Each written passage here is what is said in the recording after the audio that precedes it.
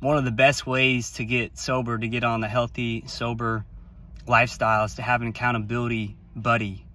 And that can be me. So if you're somebody who's trying to quit whatever the thing to live a healthier lifestyle, not just physically, but mentally, uh, emotionally, spiritually, reach out, send me a message on a uh, Facebook Messenger, drop a comment below, get in touch with me. I'll put my contact below. Um, but like I said, accountability buddy, you need to change your environment. You need to change your environment.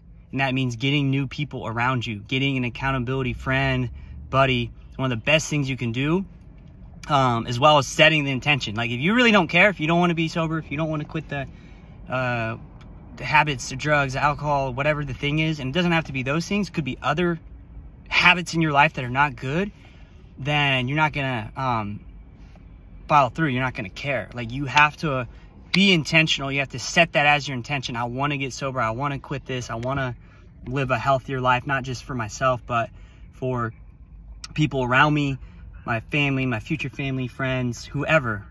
So reach out, get in touch with me. I will be your accountability buddy, and I look forward to that.